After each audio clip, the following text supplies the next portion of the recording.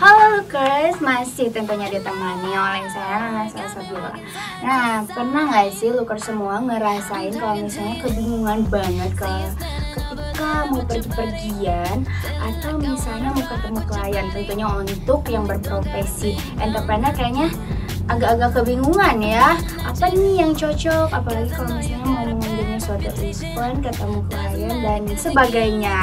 Nah kebingungan tersebut kini ada solusinya. Kenapa?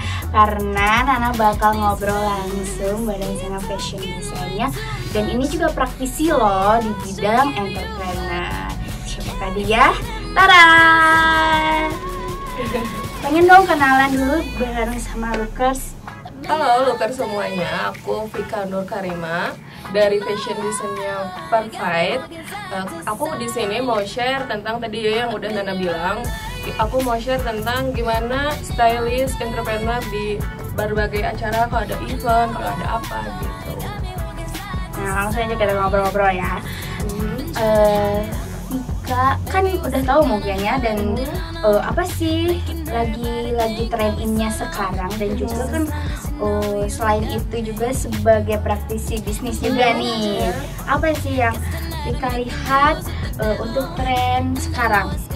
Untuk tren sekarang itu ya susah di apa ya susah dikategorikan misalkan kayak kasih nama A misalnya contohnya itu Hmm. ada tren up doang. Enggak sih jadi sekarang itu banyaknya apalagi kalau di bidang entrepreneurnya jadi setiap brand itu memiliki eh, kayak punya trennya masing-masing. Jadi justru mau nimbulin trennya dia apa ciri khasnya dia dan lomba-lomba buat tren trending gitu jadi trendingnya jadi brand itu menjadi tren gitu Oke, jadi punya karakter masing-masing di setiap eh, apa ya di setiap usahanya mungkin ya. Hmm.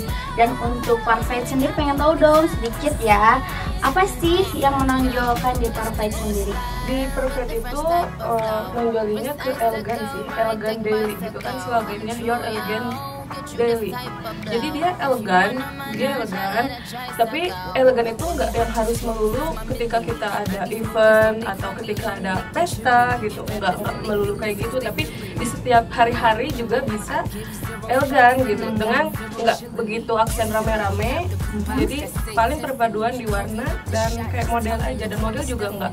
Yang numpuk-numpuk kan suka ada ya. Baju teh numpuk-numpuk di sini gitu atau Iya. gimana? Nggak kita nggak kayak gitu.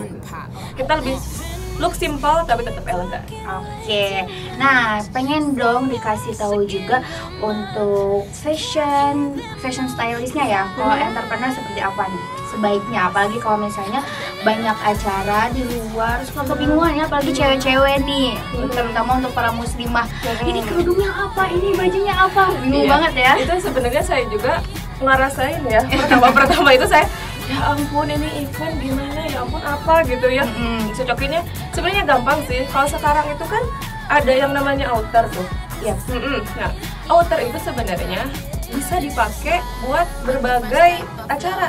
Gimana gimana kita merdunya pakai apa aja gitu. Misalnya, ketika kita mau ada acara formal nih gitu.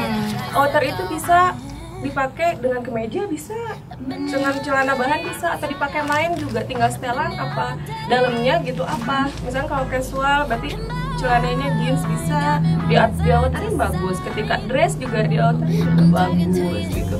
Jadi kalau sebenarnya fashion untuk entrepreneur sendiri gitu entrepreneur kan wirausahawan ya. Yap. sebenarnya tidak ada eh, apa ya harus pakai baju apa gitu. Kayak guru misalnya harus pakai seragam apa? Nggak ada gitu. Kalau entrepreneur tuh sebenarnya. Cuman kita bisa eh, mensiasatinya dengan menggunakan outer yang bisa dipakai kapan aja. Jadi every time every moment itu bisa kalau pakai outer. Oh, jadi tips dan triknya ya. Berarti ini kunci rahasianya dari seorang Vika Nur Karimah. Kalau misalnya ingin gayanya berbagai macam nih dan bisa juga masuk di segala momen yaitu dengan menggunakan outer.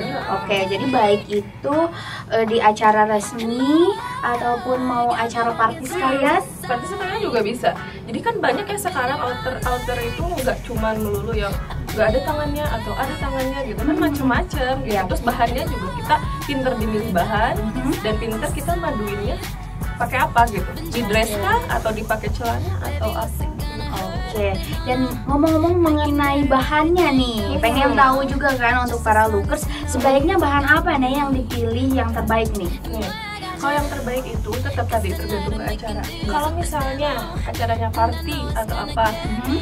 kita eh, apa sih ada bahan tuh kan ada yang glossy, ada yang enggak. Ya. Cari yang glossy atau yang kayak ada yang dicorak yang dimunculkan kalau buat eh, party nih. Terus Maksudnya corak dimunculkan itu seperti apa nih? nih, misalnya ada kayak apa ya keunikan di corak-coraknya Ya. gitu. Kan banyak ya corak tuh banyak banget ya. Hmm? Terus ada juga yang terlihat kesan apa ya? Kalau yang terlalu rame Ya. justru malah kurang uh, elegan gitu. Tadi kan perfect sendiri kan namanya elegan, simpel tapi tetap elegan. Mm-mm. Jangan terlalu rame nih. Kayaknya contoh kayak ini ya. Ya. Nih, ini juga.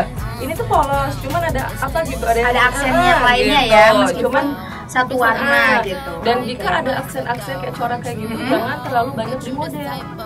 Misalnya eh, tangannya kayak eh, banyak numpuk-numpuk gitu. Iya. Kalau mau lebar ya lebar kayak gini aja polos, nggak usah banyak ada pita gede tiba-tiba kalau ada corak atau ada nggak usah lah gitu. Iya, oke. Kecuali kalau polos bahannya. Hmm. Kalau polos bahannya bisa gitu kayak gitu dan eh, kalau bisa nih kalau buat outer biar Ya. bisa dipakai untuk segala apa ya segala bentuk badan lah Ya. yang gede bahannya harus baku.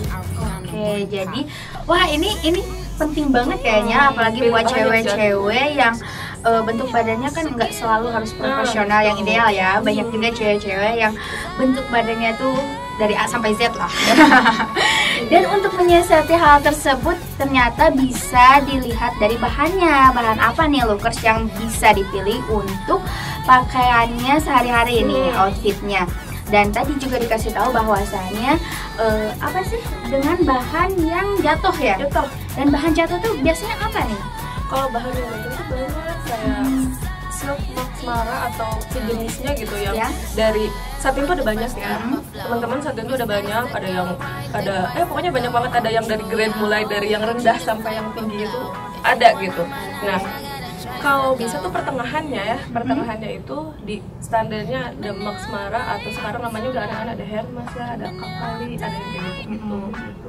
itu yang standarnya dan masih banyak di bahan katun pun ada yang jatuh gitu Oh, iya. katun tuh nggak melulu yang ini katun tuh kan ada yang saya pernah dengar tuh katun kalau bahan katun tuh cep- eh, pegang aja katanya giniin Ya. kalau dia kusut dia katun gitu Oh Kan- iya, sering Eh, banget sering dengar apalagi ya, kalau kayak gitu. misalnya datang ke pasar-pasar yang Hmm. uh, ramai banget. tapi sebenarnya katun juga ada yang jatuh tapi tetap di katun itu kan tekstur yang lembut sama dingin kan gitu Iya. katun tuh sebenarnya Jadi kalau misalnya untuk katun udah udah pasti ya kalau Hmm. misalnya teksturnya dingin dan juga Hmm. lembut gitu udah dipastikan Hmm, katun. tapi Oke, sip. Wah, kayaknya ini udah banyak banget nih ilmunya ya. Tapi kayaknya belum sah banget nih untuk para lookers kalau misalnya belum ditantangin nih. Kayaknya kita harus challenge banget ya seorang Vika Nur Karima untuk makeover eh, untuk makeover nih para lookers dan nanti kita pilih Oh, random look- aja look- ya. lookersnya yang Iya, oh, jadi oke, para oke. lookers sendirinya yang bakal dipilih random lewat Twitter kita. Makanya jangan ke mana-mana, tetap bersama kami di Style Look, di Stylist Lookers. Making everybody think that we so long. Just as long as you know